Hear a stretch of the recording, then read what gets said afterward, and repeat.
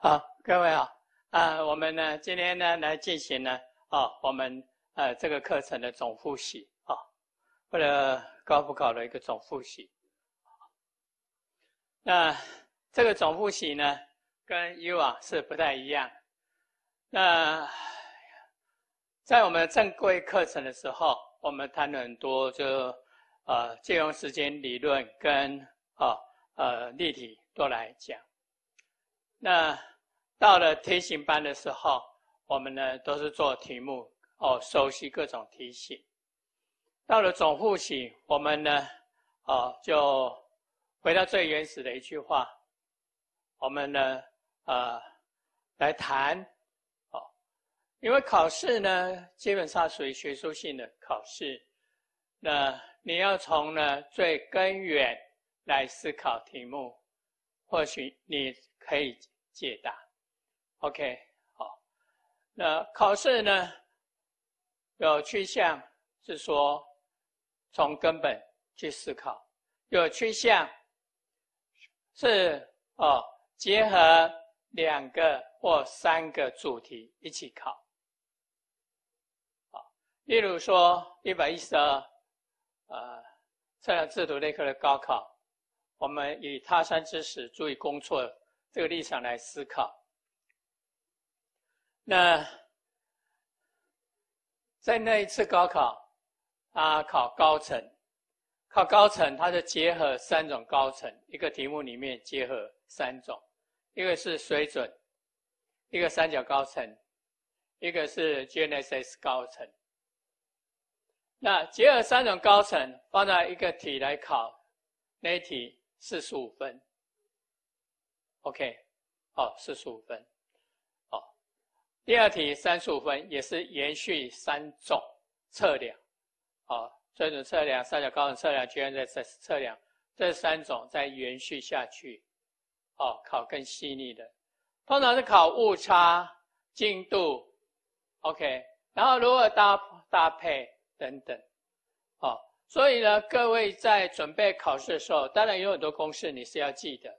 可是，最根本、最根本的原理、方法，这个呢，各位呢一定要。当然，误差重复定律这是避免不了的考试的重中之重。OK，然后更更深一点的，就测量平差。那今天总复习里面呢，我们不讲题目，或很少提到题目，我们都提呢啊原理啊它的分析方法。那详细内容在我们讲义里面有，OK，好，好，那我们来看一下测量学的定义。那各位要从这边开始去思考。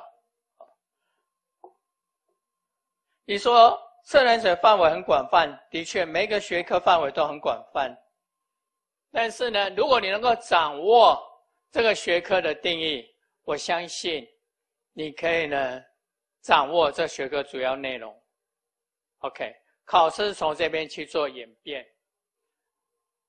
我我们使用适当的仪器跟方法，依据测量原理，亮度地球表面上点一点的相对位置或是点位坐标，分析它误差的影响，讨论测量的成果品质。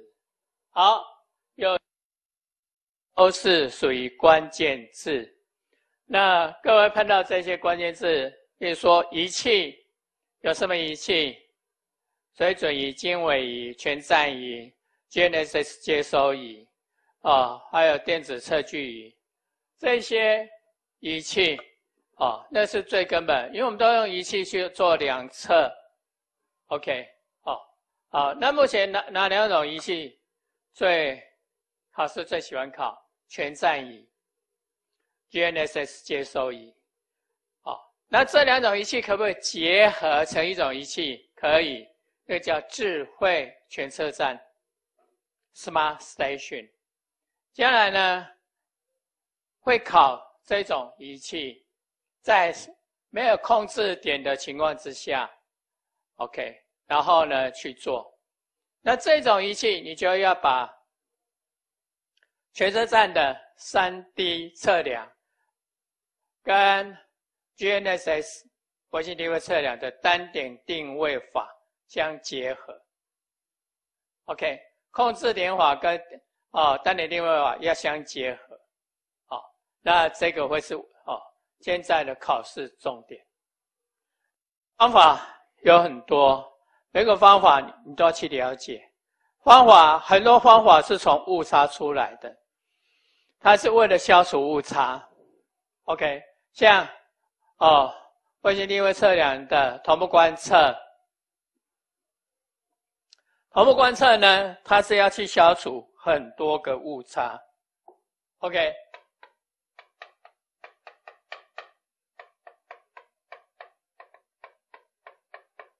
哦，它消除误差。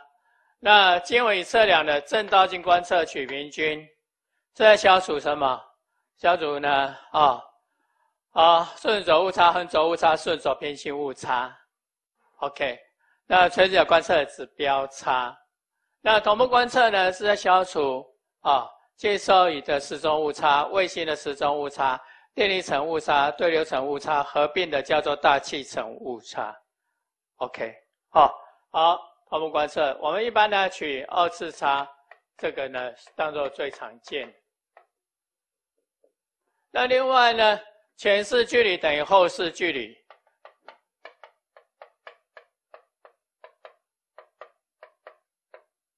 这个呢是在水准测量里面呢，哦，我们说这个是很重要的，这是一个观测的方法之一，因为它可以消除呢，哦，顺轴误差跟两差，OK，顺轴误差跟两差。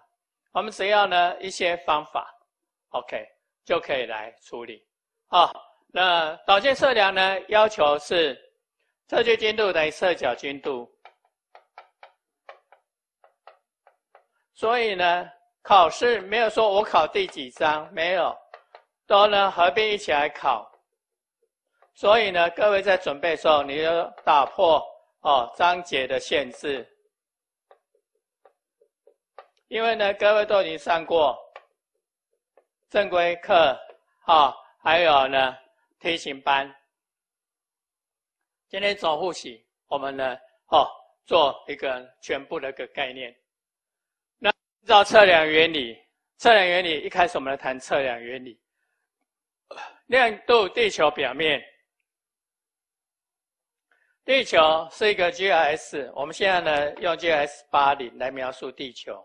它跟呢卫星定位测量的所用的地球 WGS 八四很像，OK，这是呢 TWD 九七，哦，它最主要的地球，那地球长半径、短半径，长半径六三七八一三七公尺，短半径六三五六七五二点三一四一公尺，OK，好，好，那一般的我们用加权平均，啊，去算出地球半径大概六千三百七十七十一公里。OK，那地球呢？它的一个形状，我们如何去描述？那是是 GIS，但是呢，哦，以谈了很多高层的基准来讲，有所谓的正高，有所谓的几何高或椭球高。正高是大地水准面，啊，椭球高是参考椭球面，所以基准不一样，定义的高层也不一样。OK，这是地球。那因为地球呢，它的地心。是岩浆不断流动，所以真正我们在定义卫星定位系统里面 WGS 哦，卫星定位系统里面的 XYZ 坐标轴，这些坐标轴的圆心就是原点，就在地球的质量中心。那质量中心按理来讲，我们都以为它是一个定值，但其实不是，所以导致了我们要去观测，OK，观测呢天空很多卫星。从这些卫星呢，我们去反卫星坐标，我们去反推啊，那地球的质量中心在哪里？三个轴定义是怎样？这个就好像呢，啊，鸡生蛋，蛋生鸡，这个呢很有意思。那因为地球呢是一个地壳板块，哦，不断变动的一个啊，一个呢呃星星球，所以呢我们会把说，哎，在地在那个地面上的点位，基本上。应该是不准的，特别是台湾地震频繁，应该是不准的。哦，因为第一个变第一个变动的非常剧烈，所以我们就打说，哎，我们可不可以把已知点放在哪里？放在天空，因为地面的已知点到最后都是不准确。一个九二一大地震，哦，导致这很多三角点的都不准确，到最后呢，只能去观测，哦，卫星当做卫星控制点。OK，那是地球所引起的哦，这些知识各位要知道。那相对位置，相对位置呢，基本上就是呢导线测量里面我们所使用的 delta n、delta e、delta h。现在呢走向三 D，三 D 哦，我们有哦横线横距差、中呃中距差、横距差、高层差，那个对位。OK，那测定点位坐标，有可能呢，你看到是 ENH，或者是 NEH 都可以。这是我们点坐标。我们分成平面跟高层。OK，那分析误差的影响，那各种误差，我刚才提到了，我们很多观测方法是针对的误差，所以你要去了解误差，在每个章节里面几乎基本上都有。OK，最常见一开开始。啊，从最一般的误差来看，有什么误差来源？人为误差、仪器误差、自然环境误差。误差的性质、误差种类来区分有粗差、系统误差、偶偶然误差。偶然误差另外名称叫随机误差。OK，好之后，哦，距离测量有很多误差，电子测距也有误差，水准仪有误差。OK，好，那经纬仪也有误差。全车站呢，就要把电子测距跟电子经纬合并，所以全车站误差要分两个来讨论。OK，好，考到全车站误差，各位不要觉得太高兴，因为你要写的很多。哦，包含电子测距的误差、电子经纬的误差。如果是卫星定位的误差，卫星呢定位测量，你如果不从误差去切入去着手，你会读不好。这样摆的，OK。所以误差我们也一定要讲，讨论测量成果品质啊。那成果品质呢？啊，这个一般来讲，我们是用什么来衡量成果品质？我们标准差或是中误差，sigma。如果是哦，那成果品质就越棒，我的精度就越高。所以呢，其实在讨论误差。那另外呢，也势必的会讨论到精度，啊，误差跟精度是一体两面，OK，好，那测量呢，测定测绘，所以呢，各位你看到这些啊，keyword，仪器方法、测量原理、地球相对位置、坐标、误差、成果品质，OK，这各位呢，你都要去抓住。哦，至于说绘制成图了，制作 DDM 了，OK，早期还会考，现在呢已经不流行了。那我们来看原理啊，那今天原理蛮多的，测量基本原理、导线正算反算啊，那三角高层、三维坐标计算、水准原理，OK，还有呢卫星测量的单点定位原理，只要原理我们都拿出来讲。